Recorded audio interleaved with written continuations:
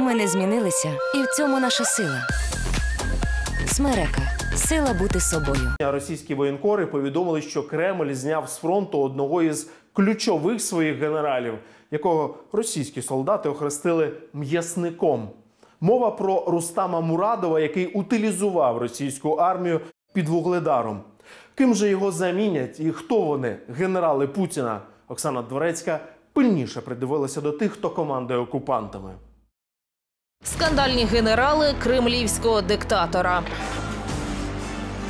Хто керує війною в Україні? Он передал карт-бланш генералам, он понимает, что других генералов у него нет. За що в Росії дають генеральські погони? щелкнут каблуками, к черепкам своим пустым приложит руку и скажет «Есть, готовы». І як російських оцінюють західні генерали? Російські командири обкрадають своїх солдатів. Ексклюзив фактів тижня з екскомандувачем сухопутних військ Польщі. На війні в Україні Путін тасує їх як колоду карт. Одні й ті самі обличчя, можна сказати, генеральський пул кремлівського диктатора. Хто ці люди і як в Росії стають генералами? Давайте розбиратися. Він отримує погони генерал-полковника із рук Шойгу, а в цей час його солдати розгромлені на підступах до Вугледару. Рустам Мурадов, командувач східним військовим округом, герой Росії. І його історія могла б стати анекдотом про бездарного генерала, якби не реальність жорстокої війни в Україні. В утилізації російських морпіхів генерал Мурадов фахівець із великим досвідом. Перший отримав ще під час провального стрибка Мангуста на Київ. Далі була Павлівка під Вугледаром. Ще восени вона стала могилою для елітної 155-ї бригади морської піхоти Тихоокеанського флоту. Мурадов отримав прізвисько Генерал Смерть. Це один із кадрів наслідків наступу росіян на Вугледар вже в лютому під командуванням того ж генерала Мурадова. Більше сотні одиниць знищеної бронетехніки, тисячі загиблих окупантів.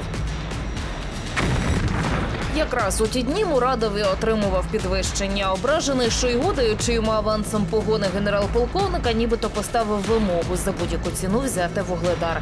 Той довіри, щоправда, не виправдав, і Мурадова чи то зняли з посади, чи то тимчасово відсторонили. Та зазвичай в Росії генералів за провали не карають. Главный принцип системы – это лояльность, личные преданности и не более того, ну еще вороватость, да? Поэтому вот такие генералы, так как власть узурпирована, то к этой власти имеют доступ только те, которые как бы пролезают через барьеры э, э, благодаря какому-то личному влиянию, личному доверию. Это вовсе не лучшие люди страны. Це відео в інтернеті одразу стало вірусним. У всій красі не аби хто герой Росії, заступник командувача сухопутних військ, керівник угруповання в Білорусі, генерал Матовніков. Один з улюбленців Путіна, якого той призначав на найвищі посади, зокрема у 2018-му своїм постійним представником у північно-кавказький федеральний округ.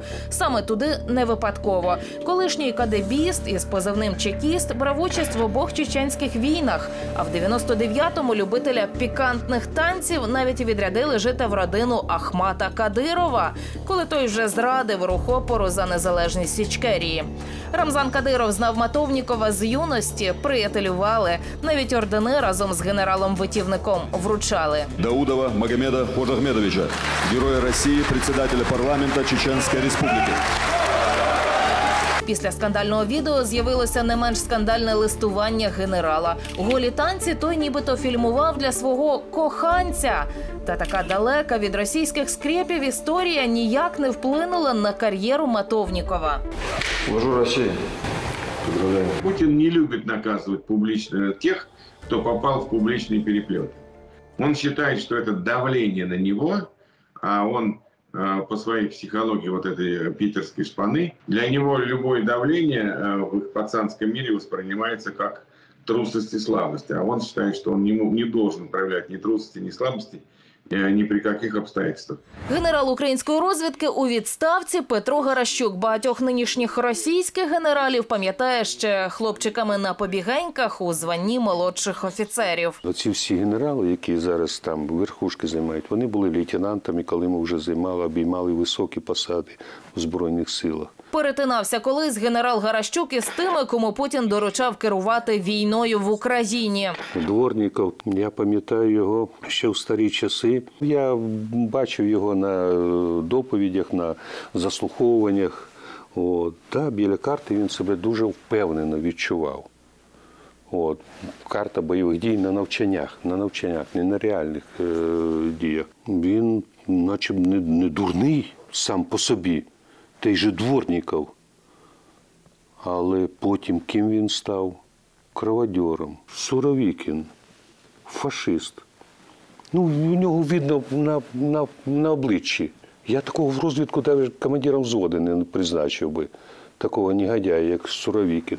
Саме в Сергія Суровікіна історія класична для розуміння портрету путінського генерала. Тут і скандали, і кримінал, і армійська корупція, і бізнес на крові. Це 91-й рік. Пуч у Москві. Капітан Суровікін, командуючи колоною БМП, розчавив насмерть трьох протестувальників. Сім місяців у СІЗО і несподівано підвищення до майора за зразкове виконання військового обов'язку. У 95-му ще одна кримінальна пляма. Рік умовно за торгівлю зброєю. У 2004-му, будучи командиром дивізії, побив підлеглого підполковника. Того ж року на очах у Суровікіна застрелився його заступник. Офіцера із сумнівною репутацією помітив Путін і зробив його героєм Росії. Мы готовы выполнить любую поставленную вами задачу. Саме за це Путін і просував своїх генералів. Іспитом на лояльність для багатьох стали Чечня та Сирія. За бомбардування Алеппо та інших сирійських міст Сергій Суровікін заробив собі статус улюбленця Путіна і посаду командувача російським угрупованням в Сирії. А ще заробив мільйони. Нещодавно розслідувачі знайшли зв'язок бізнесу його дружини з одним із гаманців Путіна Геннадієм Тимченком, який якраз освоював у Сирії, яку бомбив Суровікін, все на чому можна було заробити. У самого генерала журналісти виявили елітні квартири, землю та маєтки на мільйони доларів. Генерал-мільйонер чотири місяці до січня був головним по вторгненню в Україну, якраз у період, коли Росія чи не щотижня атакувала ракетами цивільну інфраструктуру, марно намагаючись занурити українців у темряву та холод.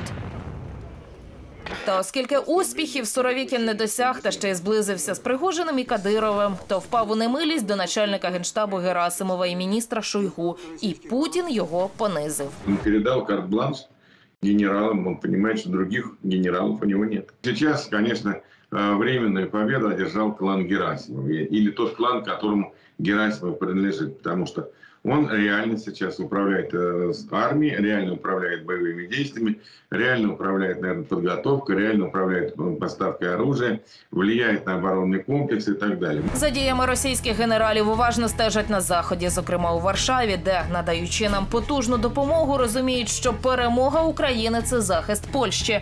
Колишній командувач сухопутних військ країни генерал Вальдемар Скшипчак ексклюзивно для фактів тижня розповів, як оцінює роботу російських генералів. Armiami w czasie wojny na Ukrainie, jacy dowodzą. Ці командири, які отримали свої посади за Путіна, вони були навчені для параду. Їхніми головними заслугами були організації парадів чи то в Новосибірську, чи то в Москві. І на війну відправили командирів, які не були готові командувати військами. Це було помітно на початку війни, і це була дискредитація російських командирів.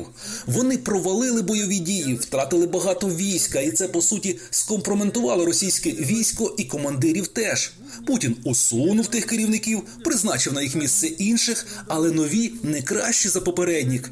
Так виглядає, що в російській армії командири це більше звання партійне, яке дається з лояльності, як, наприклад, Шойгу, який відзначається наближеністю до Путіна, а не керуванням військами. Сам Шойгу не проходив навіть строкової служби. Все вирішувала його давня дружба з Путіним. Пам'ятаєте, як вони збирали гриби і ловили рибу на відпочинку в Сибіру? Воздух такой надо делать.